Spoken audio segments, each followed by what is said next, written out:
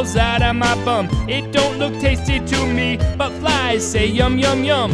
When I'm constipated, the poop just won't come. My day isn't complete until I pooped at least some.